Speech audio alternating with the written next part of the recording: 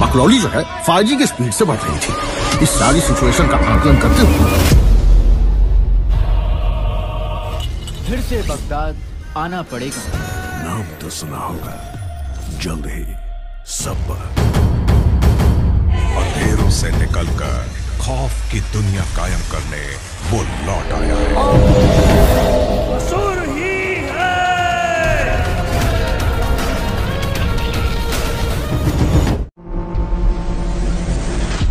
सोनी सब के पाँच ऐसे टीवी शोज़ जिनका फैंस ऐसे वेट कर रहे हैं जैसे पेरेंट्स रिज़ल्ट आने का वेट करते हैं। वो शोज़ जिनको फैंस वापस लाने के लिए कितना हदें पार कर चुके हैं, आज पता चलेगा। तो इधर उधर देखना बंद करें, वीडियो को फुल स्क्रीन कर लें, शुरू करते हैं। Number five. Madam sir. इस शो को लोग इतना ज़्यादा पसंद करते हैं कि मैडम सर की स्टार कास्ट का कहना है कि लोग अब धमकियाँ देने पे उतर रहे हैं। मतलब फैंस का कहना है कि शो वापस लाओ नहीं तो अच्छा नहीं होगा। धमकी देने लगे कि सीज़न टू ले आइए।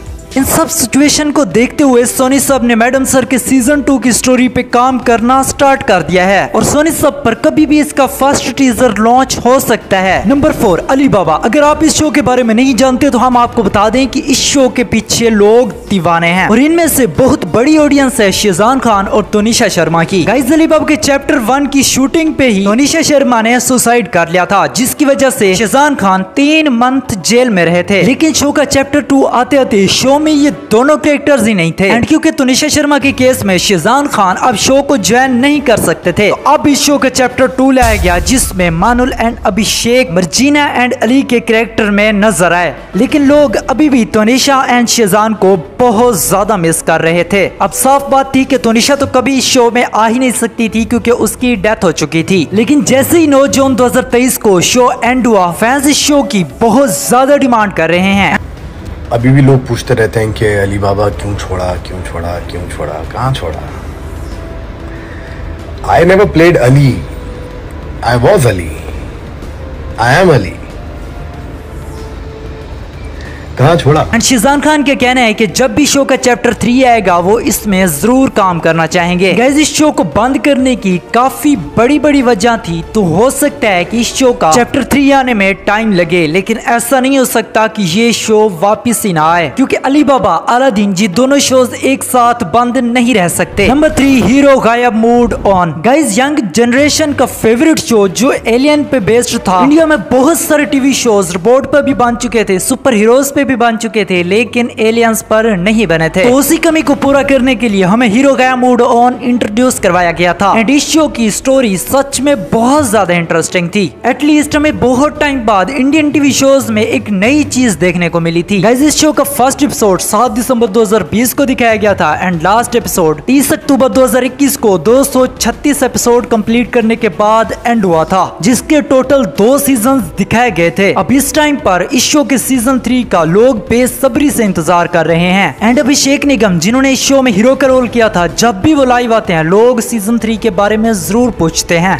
हम शायद शो को करें और मतलब ऐसी बात चल रही थी पर sometime you know the choices are being made by the channel by the producer lot of people काफ़ी हद तक चीज़ें हो भी गई थी but then again I think होता है लास्ट कॉल जो भी होती है तो it got change but then that doesn't hurt me हैं तो उनका हमेशा सेम ही जवाब होता है कि ये शो आपको बहुत जल्द टीवी पर देखने को मिलेगा। लेकिन गैस यहाँ पर अगर हम अपना ओपिनियन दे तो इस शो के वापस आने के चांसेस बहुत कम है। बाकी सोनी सब कब क्या कर दे किसी को पता नहीं होता। अब लास्ट में दो शो बताने से पहले मैं आपको बता दूँ कि ये दोनों शोज़ आप सबके फेवरेट होने वाले हैं। नंबर टू इच्छा प्यारी नागिन। गाइज़ हमारी लिस्ट का सबसे ओल्डेस्ट शो यही है। इच्छा प्यारी नागिन का फ़र्स्ट एपिसोड 27 सितंबर 2016 को आया था। जो कि फैंस के दिलों में बहुत ज़्यादा जगह बनाने के बाद 10 जुलाई 2017 को सिर्फ़ एक सीज़न के साथ 205 एपिसोड खत्म करके ये शो हमेशा के लिए एंड हो गया था। तो इस टाइम के मुताबिक इस शो को छह साल से ज़्यादा हो गए हैं लेकिन इस शो का सीज़न टू अभी तक नहीं आया। तो हम बहुत ज़्यादा हैरान होते हैं कि एक शो के इतना ज़्यादा अच्छे फैंस कैसे हो सकते हैं? छह साल के बाद भी उस शो को भूले ना। अब बहुत ज़्यादा लोगों के मन में सवाल आ रहे होंगे कि छह साल से इस शो का सीज़न टू नहीं आ रहा तो आखिर इस शो के फैंस वेट कर क्यों रहे हैं? इसकी बहुत बड़ी वजह है कलर्स टीवी का नागिन। गाइज़ अगर आपने कलर्स टीवी का नागिन देखा है तो आपको पता होगा कि इस शो का सीज़न सिक्स चल रहा है। अब यही वजह है कि लोग चाहते हैं कि कलर्स टीवी का नागिन अगर इतना चल सकता है तो सोनी सब का क्यों नहीं? गाइस प्रियल गौर जो हमें इस शो में इच्छा के रोल में दिखाई गई थी उसके इच्छा प्यारी नागिन के बाद भी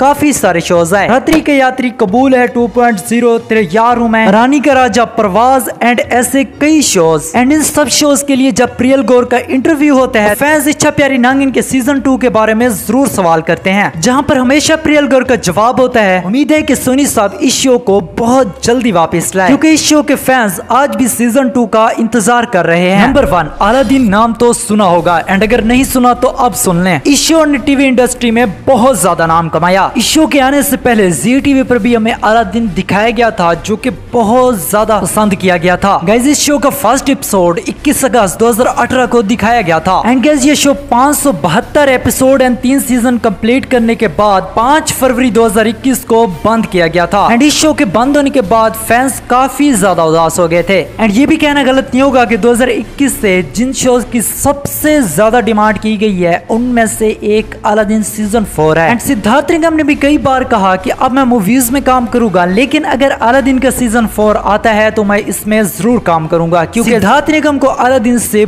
बहुत ज़्यादा फ़ैन फॉलोइंग मिली थी। एंड सिद्धार्थ निगम का हमेशा कहना होता है कि मेरी ज़िंदगी के सबसे बेस्ट प्रोजेक्ट में से एक अलादीन है। एंड आप में से भी बहुत सारे लोग सिद्धार्थ निगम के फैंस अलादीन को देख के ही बने होंगे। अब बहुत ज़्यादा लोग इस शो को वापस लाने में जुड़े हुए हैं। वहीं अगर हम आपको बताएँ तो अलादीन का सीज़न फोर अलादीन के बेटे के ऊपर हो सकता है। अब आप में से बहुत सारे लोग सोच रहे होंगे की अलादीन के बेटे पर अगर स्टोरी जाएगी एंड बहुत ज़्यादा चांसेस है की सिद्धार्थ निगम को अलादीन फोर में डबल रोल मिले। एक अलादीन का और एक अलादीन के बेटे का। सच में अलादीन सीज़न फोर की स्टोरी बहुत ज़्यादा कमाल होने वाली है। एंड हम उम्मीद करते हैं कि इस शो का फास्ट टीजर हमें बहुत जल्द सोनी साहब पर देखने को मिलेगा।